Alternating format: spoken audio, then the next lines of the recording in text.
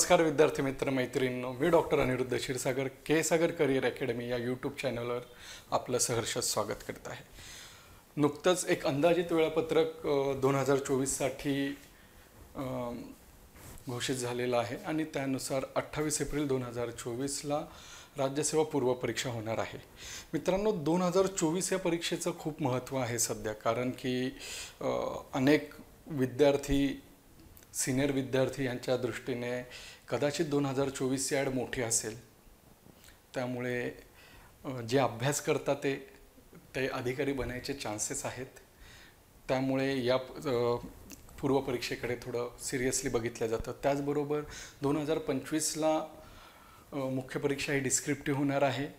त्याचमुळे आजपर्यंत जी पूर्वपरीक्षा मुलं पास झाली नाही आहेत मुख्यला गेलेली नाहीत अशा विद्यार्थ्यांसाठी पूर्व पास करून मुख्य पास करून दोन हजार चोवीसला अधिकारी बनण्याचा हा शेवटचा टप्पा आहे किंवा हा शेवटचा चान्स आहे. यामुळं दोन हजार चोवीसच्या परीक्षेला राज्यसेवेच्या परीक्षेला थोडं जास्त महत्त्व प्राप्त होतं. नुसते कष्ट करून किंवा एका ठिकाणी बारा बारा तास बसून कोणी अधिकारी होत नाही. मित्रांनो यासाठी तुम्हाला कष्टांबरोबर योग्य संदर्भ योग्य मार्गदर्शन गरजेचं असतं.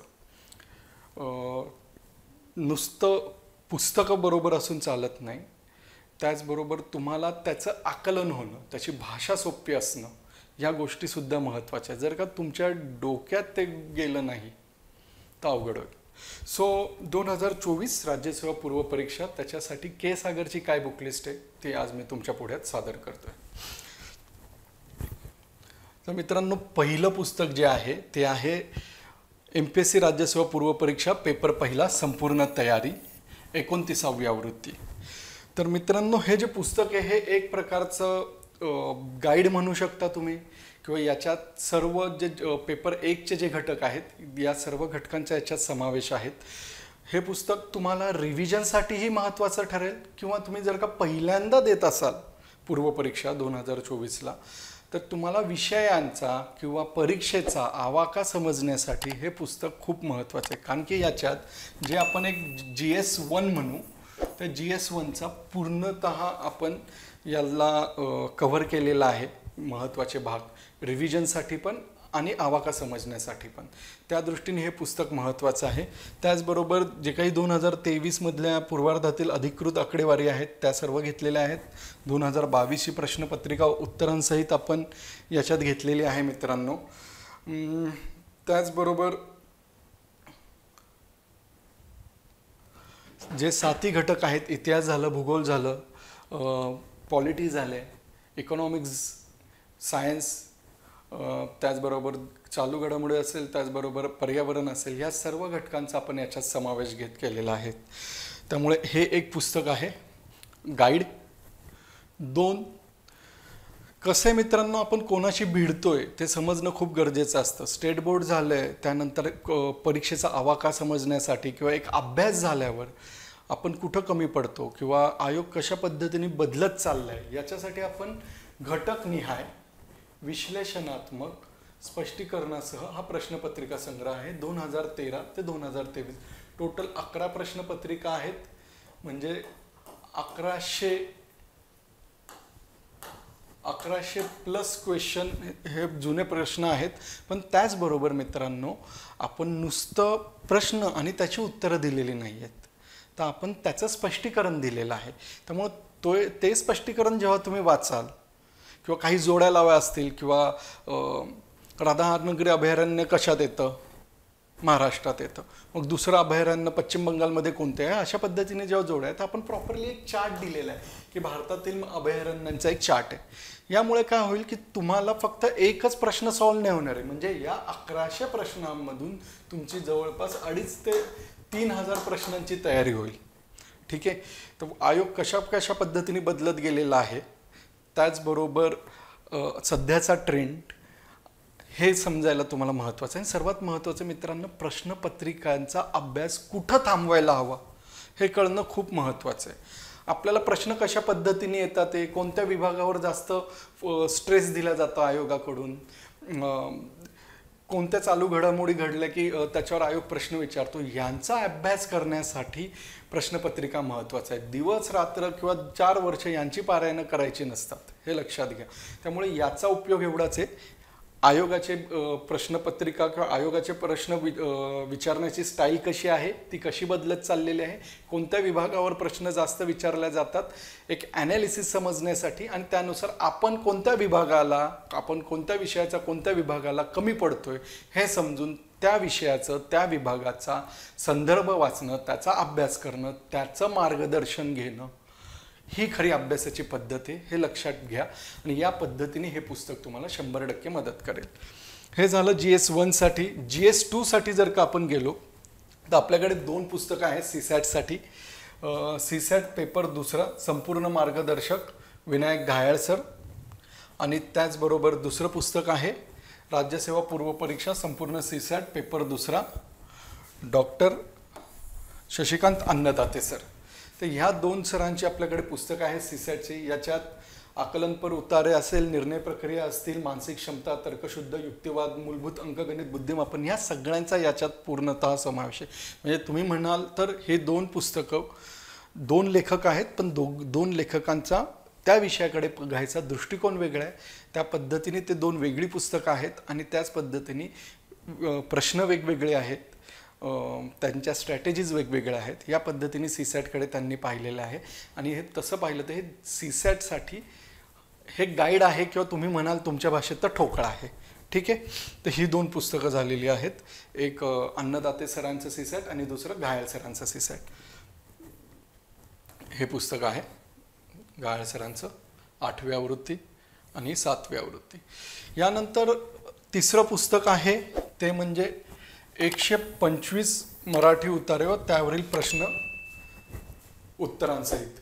लेखक आहेत योगेश नेतनकर सर सहाय्यक विक्रीकर आयुक्त औरंगाबाद. तर मित्रांनो उतारे हा असा एक विषय आहे की तुम्ही कोणता वि उतारा जेवढा तुम्ही लवकर वाचू शकता. म्हणजे तुमचा एक स्पीड आणि दुसरं तुमचं आकलन.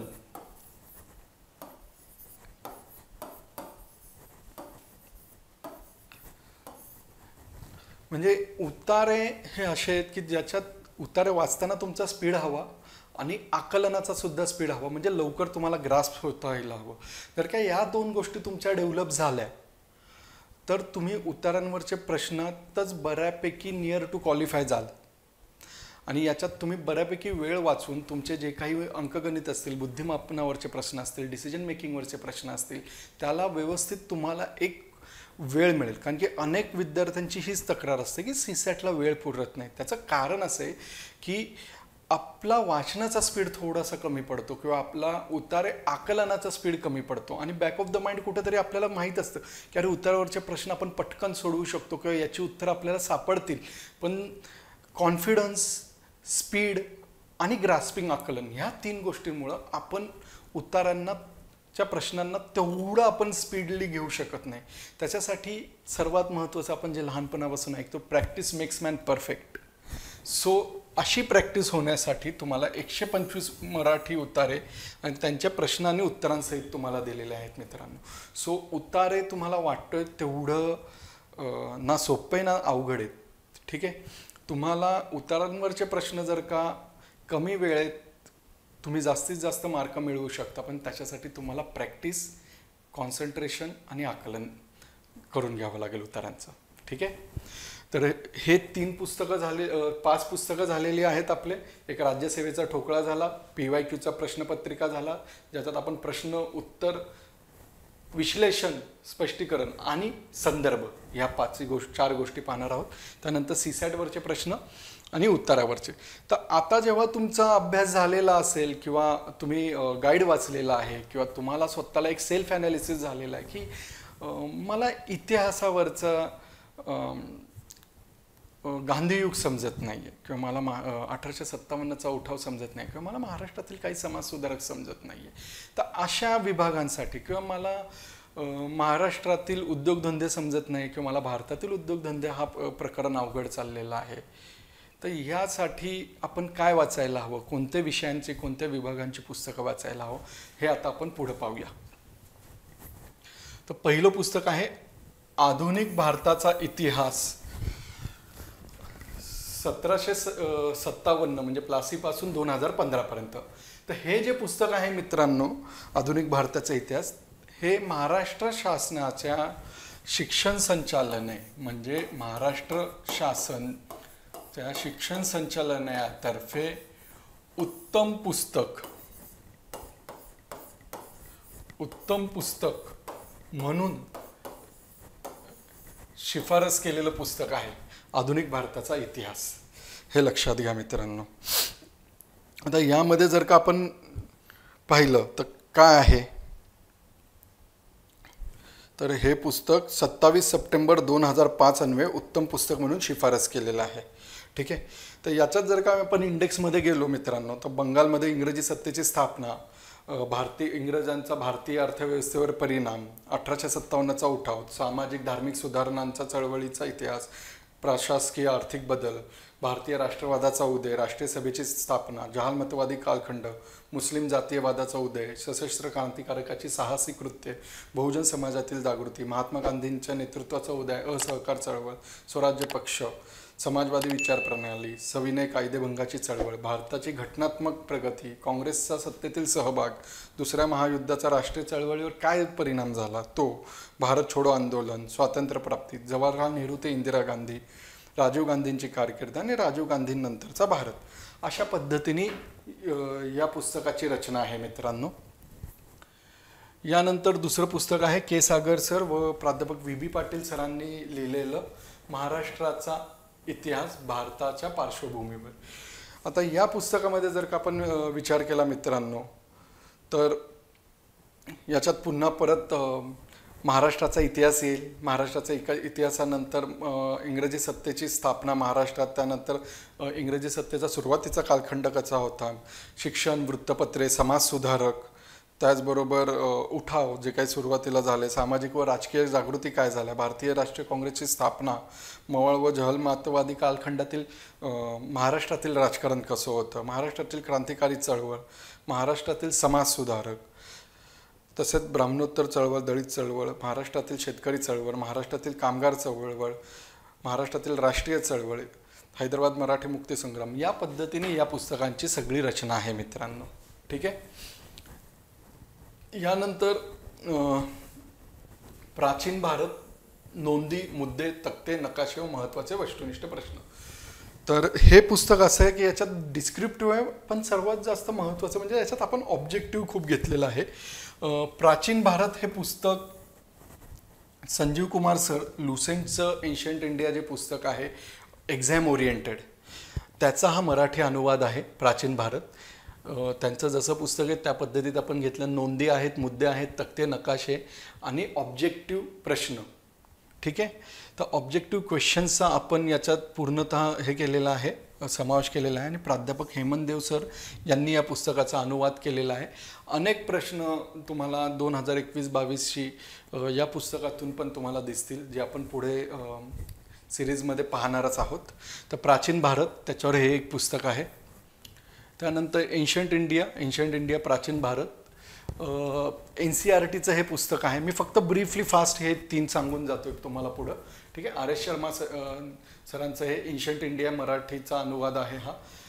वासंती फडके यदी फडके सरांच्या पत्नी यांनी हे मर मराठी अनुवाद केलेला आहे. यानंतर दुसरं पुस्तक आहे एन सी आर टी मध्ययुगीन भारत सतीशचंद्र सरांचं केसागर सरांनी संपादन संस्करण केलेलं आहे. पारधी सर देशपांडे सर आणि मार्डीकर सरांनी हे केलेले मित्रांनो तुम्हाला जर का एन सी आर टीची ही तीन पुस्तकं माहीत नसेल R S Sharma ancient India Satishchandra medieval India आणि बिपिनचंद्र सरांचं मॉडर्न इंडिया हे तीन पुस्तकं तुम्हाला अभ्यासावीच लागेल इतिहासासाठी. त्याशिवाय तुमचा इतिहास होणार नाही. ठीक आहे? तर N C R T modern India Bipinchandra sir हे असे तीन पुस्तकं आहेत. इतिहासाचा आपण तुमच्याशी बोललेलोच आहे मी आत्ता की भारताचा इतिहास के सागर आणि महाराष्ट्राचा इतिहास केसागर के सागर व्ही. बी. पाटील आणि समाजसुधारक एक राहिले ते मी तुम्हाला पुढे दाखवतो. सो याच्यानंतर आहे भारताचा भूगोल. वस्तुनिष्ठ प्रश्नांचं हे पुस्तक आहे. याची सुधारित अशी बारावी आवृत्ती आत्ता चालू आहे मित्रांनो. याचं संस्करण के सागर सरांनी केलेलं आहे. तर याच्यात आपण पाहूया की याच्यात काय आहे. तर मित्रांनो भारत प्राकृतिक विभाग झाला. भारताचा हवामान जलप्रणाली मृदा वनसंपत्ती लोकसंख्या भारतातील राज्य संघराज्य खनिज संपत्ती उद्योगधंदे जलसिंचन ऊर्जा कृषी वाहतूक व दळणवळण पर्यटन या पद्धतीचे सर्व काही याच्यात टॉपिक्स आहेत. त्याचबरोबर आपण जे काही ऑब्जेक्टिव्ह क्वेश्चन्स आहेत ते सुद्धा घेतलेले आहेत. यानंतर पुस्तक आहे दुसरं ते म्हणजे महाराष्ट्राचा भूगोल. प्राध्यापक के ए खतीब सरांचं पुस्तक आहे. हे बऱ्यापैकी सगळ्याच बुकलिस्टमध्ये असलेलं पुस्तक आहे मित्रांनो. याच्यात काय आहे? तर सर्वात महत्त्वाचं मला याच्यात बाबत सांगायचं आहे की हे जे पुस्तक आहे हे महाराष्ट्र राज्याच्या शिक्षण संचालनातर्फे सॉरी उत्तम पुस्तक म्हणून शिफारस झालेलं. म्हणजे अनेक टॉपर विद्यार्थी जे आहेत त्यांच्या बुकलिस्टमध्ये तर हे पुस्तक आहेच पण याचबरोबर हे उत्तम पुस्तक म्हणून महाराष्ट्र शासनाकडून शिफारस झालेलं पुस्तक आहे. ठीक आहे? शिक्षण संचालनातर्फे. तर याच्यात कोणकोणते घटकांचा आपण अभ्यास करतो? तर प्रास्ताविक माहिती झाली ऐश महाराष्ट्राची ऐतिहासिक पार्श्वभूमी झाली. प्रादेशिक प्रशासकीय विभाग भूरचना भूगर्भरचना नदी प्रणाली हवामान मृदा मृदेची धूप वनसंपदा खनिज संपदी हे सगळे महाराष्ट्रातील बोलतो आपण. ऊर्जा साधने जलसिंचन कृषी पशुधन व दुग्धयुद्योग उद्योगधंदे मत्स्य व्यवसाय वाहतूक संदेशवहन लोकसंख्या मानवी वसाहती पर्यटन मंडळे व महामंडळे जिल्हावार संक्षिप्त आढावा. या पद्धतीने या पुस्तकाची रचना आहे मित्रांनो. आणि डिस्क्रिप्टिव्ह माहितीसुद्धा आहे आणि आपल्या याच्यात ऑब्जेक्टिव्ह क्वेश्चन्ससुद्धा आहेत. आणि उत्तम पुस्तक म्हणून शिक्षण संचालनातर्फे शिफारस झालेलं पुस्तक आहे. याचबरोबर फिजिकल जॉग्रफी प्राकृतिक भूगोलासाठी मला वाटतं की दोन हजार सोळा सतरा अठराचे कितीतरी असे प्राकृतिक भूगोलावरचे प्रश्न आहेत की जे अनेक विद्यार्थ्यांना येत नव्हते किंवा आले नाहीत. अशा अनेक पुस्तकां अशा अनेक प्रश्नांना चा रेफरन्स या पुस्तकामध्ये तुम्हाला मिळेल. प्राकृतिक भूविज्ञान प्राध्यापक सुप्रदाते व संजीवनी दाते मॅडम यांचं आहे. यामध्ये पृथ्वीचे अंतरंग भूरूपशास्त्र हवामानशास्त्र सागरशास्त्र यांचा समावेश आहे. अनेक मराठीत जे यू पी एस सीची तयारी करतात अशा विद्यार्थ्यांना हे पुस्तक माहितीच आहे. तुम्ही हे पुस्तक अभ्यासा. एम पी एस सीसाठी यानंतर भारतीय राज्यघटना व राज्यव्यवस्था हे पुस्तक आहे.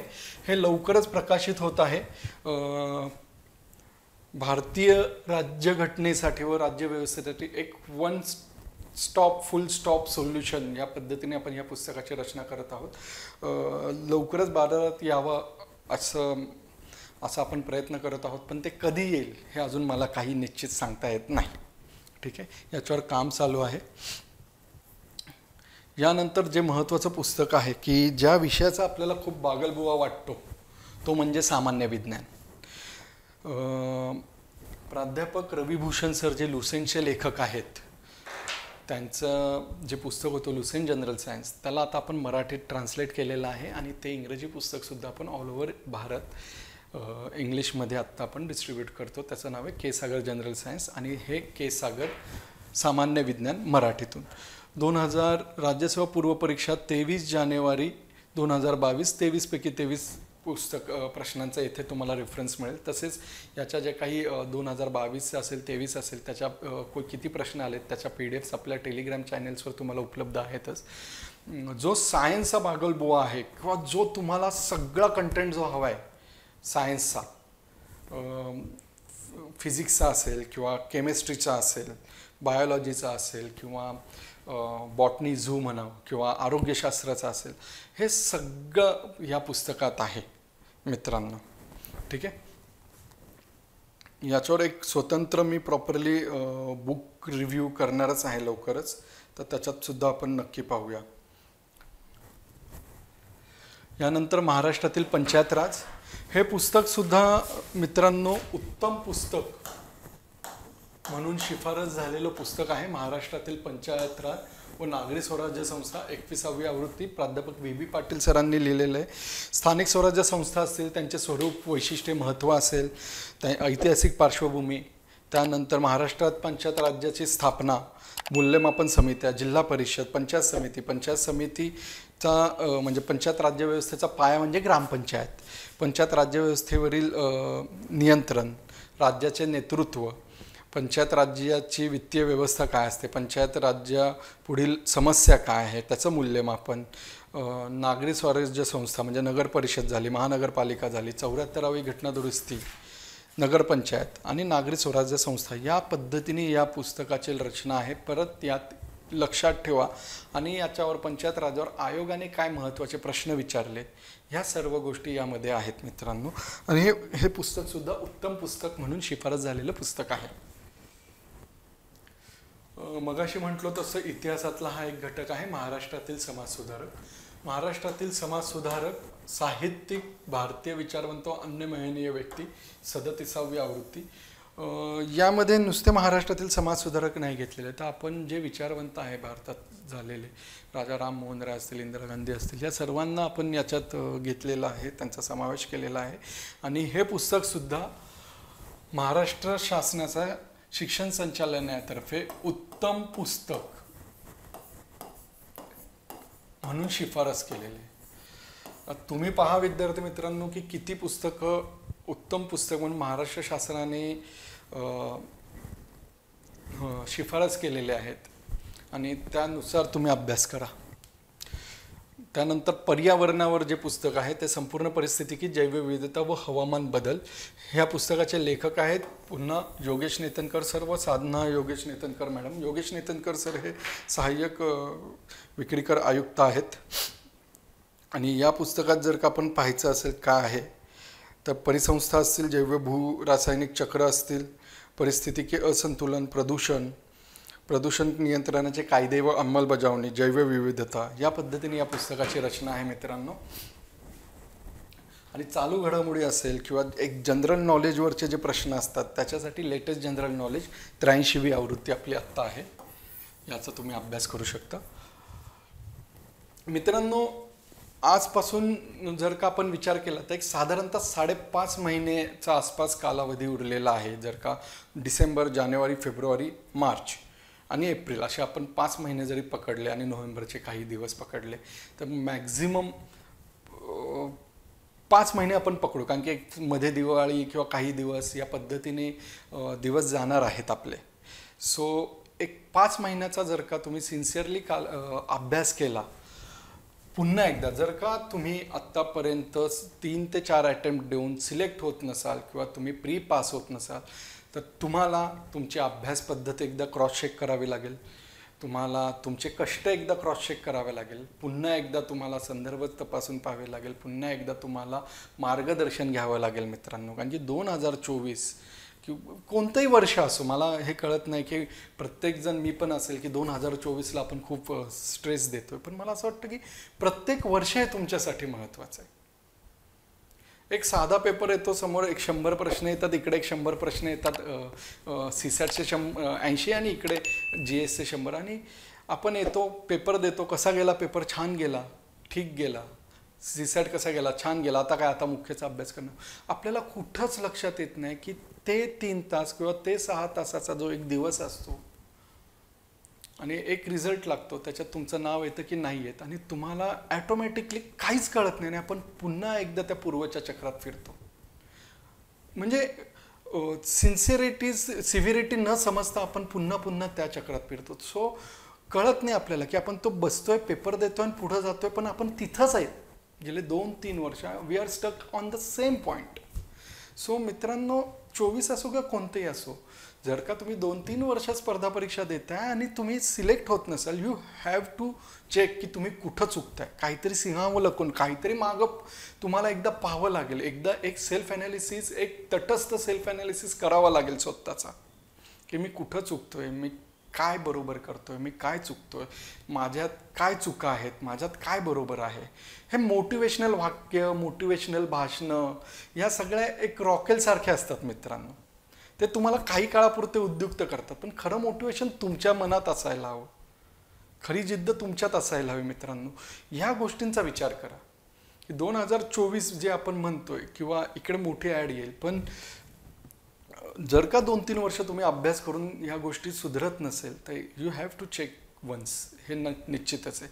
या पद्धतीने या पाच महिने these are the more than sufficient for your pre exam हे पाच महिने जर का तुम्ही सिन्सिअरली अभ्यास केला नोव्हेंबर महिन्यात जर का याचा सारासार विचार केला की आपण कुठं चुकतो कुठं बरोबर आहे आपण काय चु कोणत्या विभागासाठी वेगळं पुस्तक वाचायला हवं का वेगळं आकलनासाठी काही क्लास लावायला हवं का वेगळं मार्गदर्शन घ्यायला हवं का या अभ्यासिकेत अभ्यास होत नाही आहे काही डिस्ट्रॅक्शन्स आहेत तर अभ्यासिका बदलू का? या पद्धतीने प्रत्येक गोष्टीचा तुमचा एकदा विचार व्हायला हवा.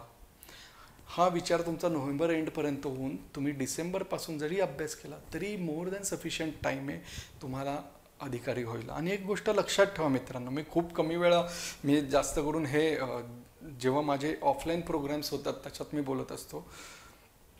दहावीला तुम्ही दहावी दिवाळी वाचता. दहावीचा अभ्यास कसा करतो? स्टेट बोर्ड वाचतो. क्लासच्या नोट्स वाचतो. नवनीतचं गाईड करतो.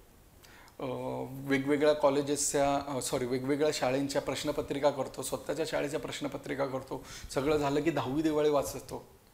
ह्या पद्धतीने पाच पाच सहा सहा संदर्भ वाचून आपण दहावीचा पेपर देतो. तर तुम्हीच मला एकदा सांगा मित्रांनो स्पर्धा परीक्षा एवढी सोपी आहे का? ती एका पुस्तकात होईल? किंवा एका वर्षात होईल? शंभर टक्के होऊ शकते पण त्याला किती प्रॉपरली ओरिएंटेड आणि त्या डायरेक्शननी कष्ट लागतील याचा विचार केला. याचा विचार करा मित्रांनो. एवढी स्पर्धा परीक्षा सोपी नाही जेवढी तुम्हाला दिसते ठीक आहे? हे लक्षात घ्या. सो हे झालं. त्यानंतर क्लासेससाठी मी बोलतो पुन्हा एकदा. संयुक्त पूर्व परीक्षा गट ब व गट क दोन हजार चोवीससाठी आपण क्लास लॉन्च केलेला आहे. ऑनलाईन आहे. रेकॉर्डेड बॅच आहे मित्रांनो ही. त्यामुळे तुम्हाला हवं तसं हवं तेव्हा तुम्हाला पाहता येईल. एक साधारणतः काही सोळा जून च्या रोजी आहे. तर आठ महिने व्हॅलिडिटी आहे. रेकॉर्डेड बॅच आहे. राज्यसेवेची पण बॅच आपण लवकरात लवकर करायचा प्रयत्न करत आहोत. तर eight months validity plus four time watch time आहे. बोडके सर भारतीय राज्यव्यवस्था शिकवतील नागेश सर बुद्धिमापन व अंकगणित सचिन गुळिक सर संपूर्ण इतिहास आशिष जेतपाल सर भारतीय अर्थव्यवस्था अविनाश पट्टेवर सर संपूर्ण सामान्य विज्ञान मंगेश कुलकर्णी सर संपूर्ण भूगोल. या पद्धतीने आपल्या बॅचला शिकवलं जाणार आहे आणि लॉन्चिंग असल्यामुळे आपण यावर्षी पाच हजार पाचशे रुपयांनी पूर्व परीक्षा संयुक्त पूर्व परीक्षेचा हा कोर्स आपण विद्यार्थ्यांसाठी उपलब्ध करून दिलेला आहे. तर याचा नक्की लाभ घ्या. योग्य संदर्भ योग्य मार्गदर्शन आणि होय मी डॉक्टर अनिरुद्ध क्षीरसागर मी तुमच्याबरोबर निश्चितच या पूर्ण प्रवासात आहे. तर ऑल द बेस्ट मित्रांनो आणि धन्यवाद आणि अभ्यास करा.